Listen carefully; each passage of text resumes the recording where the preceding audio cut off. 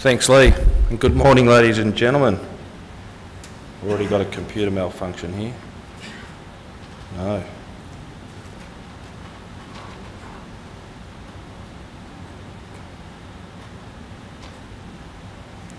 Perfect. Thank you, guys. Um, my topic today, dairying into the future, um, I guess I wanted to start today probably by just offering a little perspective to what we currently do, which hopefully will then just add a little bit more light to when I talk about the future and where we think things might go. So just quickly, our business today, we, we farm about 2,500 hectares. We're in central west New South Wales, a little town called Gooloogong. We're about halfway between Forbes and Cowra. So two major centres there, about 10,000 people in each centre, a little couple of little towns around us, Gooloogong, about 400 people in Eugowra, somewhere around the probably three or 4,000. I guess important when we get to talk about labour um, as we move through the talk. About 750 hectares of irrigation, so I guess we do consider ourselves irrigation farmers. Been somewhat challenging the, the, the past few years, but we see our first river allocation this year in, in, eight years, so we're pretty excited about that. And I think as we, um, I guess on our waterfront, we, we do hedge our bets there, and about 50% of our allocation is from groundwater sources and 50% from the river.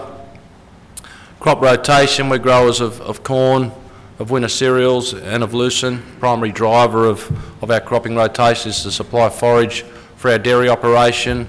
In saying that, if things go our way, we certainly are traders of lucerne hay and some other cash crops when things go our way. Our dairy operation, as you see from the photo, we are a more intensive style of operation. We have evolved there from being grazing, grazing farmers all the way through to semi-supplementary operators with a feed pad to a more intensive style of operation now. 2,000 milk cows today. The um, shipping about 27 million litres of milk a year. We're, we're fairly high input, fairly high output, 37 litres of milk per cow, so herd average of around 12,000 litres a cow. Three times milking, the operation is 24 hours a day. We, we run three shifts a day in the, in the milking parlour itself, so people start at 8 in the morning, run through till 4. We start again at 4 till midnight and midnight through till 8. So we, I've noted their expansion plans. We certainly hold approval to, to double in site, to, to, to double in size on this site. It's certainly something that we we would like to do if, if I guess a market opportunity presents itself in the in the future. Our game plan, we, we, we don't play currently in the export market. We supply, that's not good. We supply domestic, you know, we supply the domestic fresh milk market. Our whole, our whole strategy is to, is to work in a farming system where we have a flat level supply. We produce the same amount of milk every day and can pretty much guarantee that to our customer. We value add to feed. Um, at the end of the day, we are, we are farmers and we try and trying to make the most we can out of our land and water resource. Certainly, I think being a player in a livestock industry does have some advantages when it comes to value adding to the produce we get off the farm. We try and value add all the way through the chain. We, we basically run everything in-house in terms of our farming operation, all the way from, from sowing to spraying to harvest. Um, we do play in logistics. We ship our own milk to factory.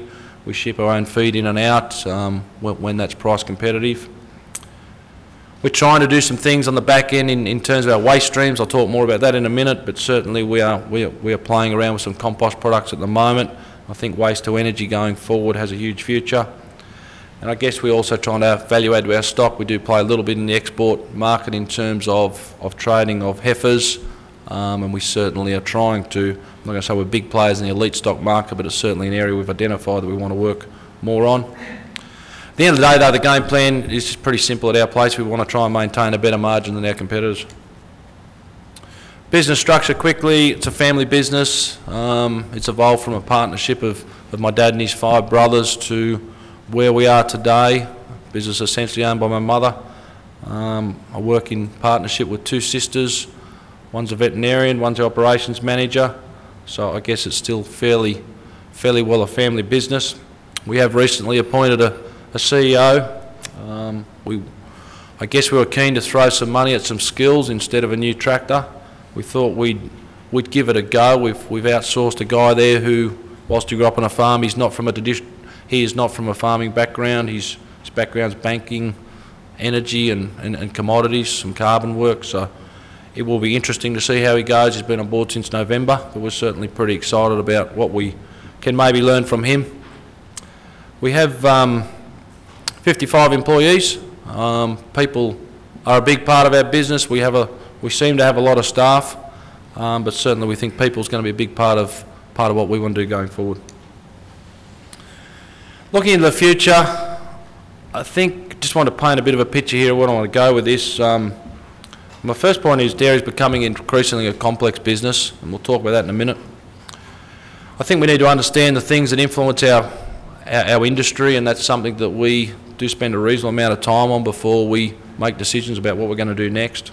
I think we need to, to review our own enterprise, certainly a process we're going through at the moment with our new men on board, and it's pr proving quite, um, proving quite interesting.